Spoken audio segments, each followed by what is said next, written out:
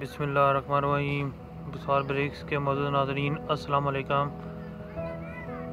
آج ہم جس بھٹے کے کام پر ویڈیو بنا رہے ہیں، وہ پکی اینٹوں کی نکاسی کا ہے۔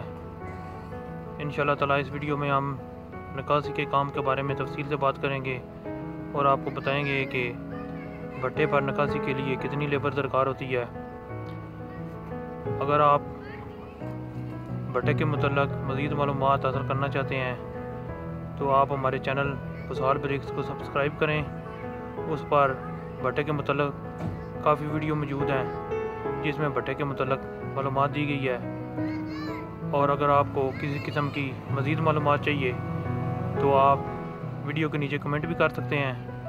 اور اس ویڈیو کو شیئر کریں اور ہمارے چینل کو سبسکرائب کریں۔ ویڈیو کے نیچے لائک کا بٹن ضرور دبائیں۔ تو آئیے آپ کو نکاسی کی ویڈیو کی جانب لیے چلتے ہیں۔ ایک درمیانے سائز کے بھٹے میں جو کہ ساڑھے سات لاکھ سے ساڑھے آٹھ لاکھ کے درمیان ہوتا ہے، چار سے پانچ افراد نکاسی کا کام کرتے ہیں۔ ان کا ایک ہیڈ ہوتا ہے جس کو یہ میٹ یا جمدار کہتے ہیں۔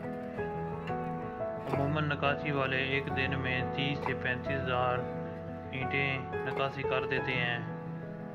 یہ اینٹوں کو ان کی اقسام، جس میں اول، دوم، چھانٹ، کھنگر میں میں تقسیم کرتے ہیں، جو کہ علیحدہ علیحدہ ریٹس پر فروخت ہوتی ہیں۔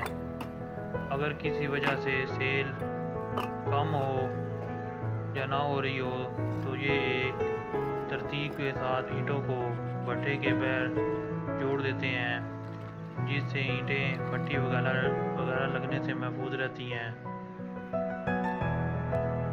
نکاسی کے بعد اینٹیں گھر بنانے والی سائٹوں پر جانے کے لیے تیار ہوتی ہیں جو کہ ٹرکوں گداگادیوں ٹریکٹر ٹرالیوں اور چھوٹے رکشوں کی مدد سے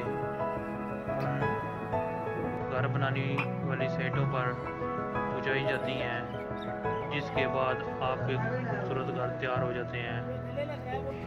ویڈیو دیکھنے کا شکریہ۔ اللہ حافظ۔